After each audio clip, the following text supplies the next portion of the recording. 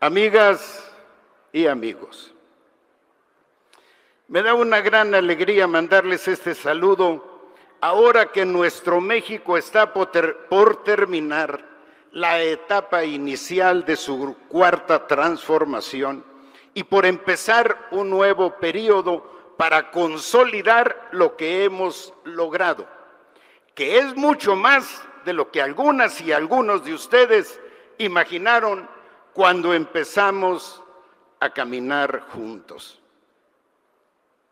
Muy pocas veces en la historia, o tal vez nunca antes, un partido político había logrado producir cambios tan profundos, extendidos y perdurables, y hacerlo de manera pacífica, democrática y legal, sin romper un solo vidrio y sin perder la dignidad ni traicionar nuestros principios. Construimos esta hazaña tocando puertas, cabezas y corazones, informando y organizando, trabajando incansablemente en todo el territorio nacional, escuchando al pueblo y a cada persona, apelando a los buenos sentimientos, a la generosidad y al patriotismo de la gente.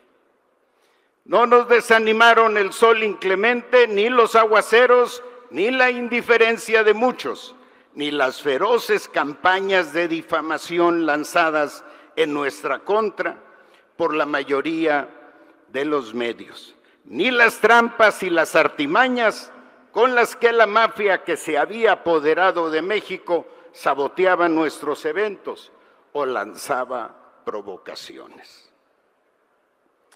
Empezamos a luchar casi sin recursos, provistos solo de voluntad, esperanza, convicción y amor a nuestra patria. Y en unos pocos años logramos alcanzar la presidencia para iniciar una transformación que ya está en la historia.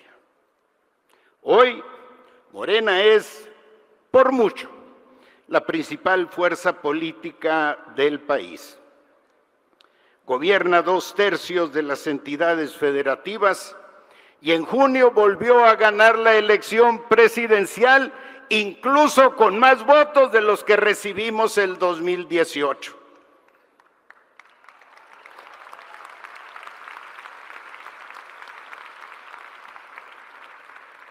Imaginen, imaginen la voz del presidente. Imaginen qué orgullo sentía al constatar que la obra de este gobierno no solo no nos había restado votos, como suele ocurrir por el llamado del gaste del poder, sino que nos había sumado muchos más. Pero esos votos no solo se debieron a las conquistas sociales, los avances políticos, la fortaleza económica, las obras realizadas y la revolución de las conciencias que emprendimos desde abajo y entre todos, sino que fueron también fruto de la trayectoria y del trabajo de la doctora Claudia Sheinbaum, una luchadora social académica, científica, dirigente política, funcionaria y gobernante excepcional, talentosa, bien preparada, mujer de convicciones y de buen corazón. El 2 de junio México eligió con casi 36 millones de sufragios a nuestra compañera Claudia, a quien en unos días entregaré la banda presidencial. Será la primera presidenta de la historia de México y eso es un logro de ella y de nosotros. Retomará nuestra labor transformadora y tengo la certeza de que lo hará con gran capacidad, con absoluta dedicación y con honestidad. Cuánta satisfacción siento con ese relevo.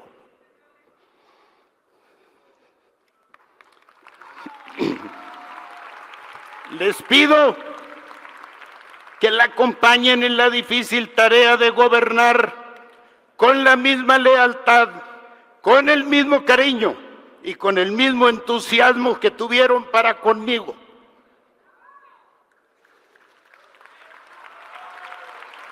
Amigas y amigos de Morena, me retiro de la política, de la vida pública y de la militancia partidaria con un enorme agradecimiento al pueblo y en particular a ustedes, mis compañeras y compañeros, que con tanta convicción me sostuvieron y me ayudaron como dirigente y como gobernante. Es un honor estar con Obrador. Es un honor estar con Obrador.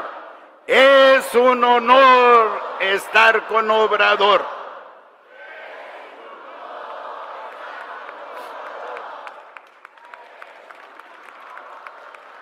Debo continuar. Mi tarea está por concluir en unos días, pero este gran partido tiene mucho camino por delante. Antepongan siempre el interés de México y las necesidades de la gente a los afanes y las rencillas personales. Fortalezcan la hermandad, el compañerismo y la institucionalidad en el partido. Mantengan siempre la unidad, la humildad y la honestidad y si me permiten repetir, fortalezcan la hermandad, el compañerismo y la institucionalidad en el partido. Mantengan siempre la unidad, la humildad y la honestidad.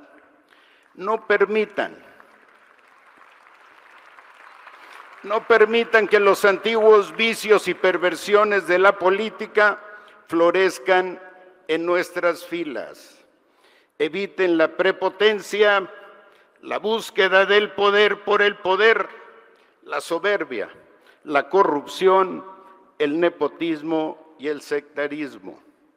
No roben, no mientan, no traicionen nunca al pueblo y sigan construyendo la nación soberana, democrática, justa, libre y amorosa que imaginamos cuando empezamos nuestro caminar. Muchas gracias y hasta siempre, Andrés Manuel López Obrador. Pido un aplauso de pie para ese gigante de la vida nacional que ha entregado su vida a la causa de la transformación de nuestro país. Larga vida al presidente López Obrador.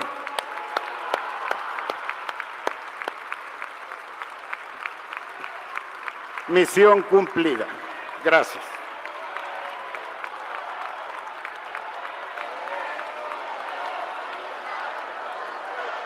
Que se oiga compañeras y compañeros.